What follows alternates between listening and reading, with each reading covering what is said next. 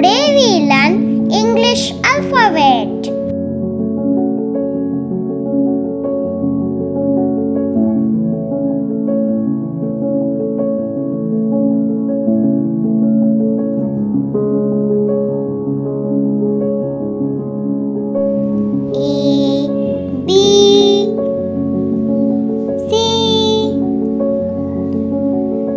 D